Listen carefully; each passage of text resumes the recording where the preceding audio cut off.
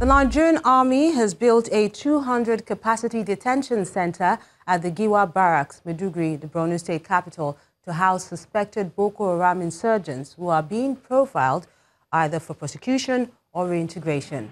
The two-wing facility was constructed by the Nigerian Army's 47 Engineer Brigade in line with global best practices.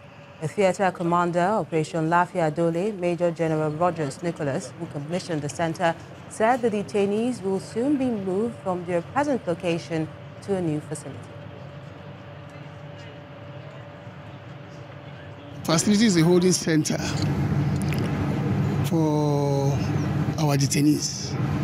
Uh, from here, they are being processed, and then um, some are moved from here to Operation Safe Corridor. Others are moved from here to various areas where uh, they are facing court charges, and um, from there. Uh, they be handled according to the judiciary program. But here we're holding them. We do profiling here. We do interrogation here, here. Period to this time, the where we're keeping them, to some of us, the chief army staff, and some of us, uh, it is not up to the standard of where we should keep.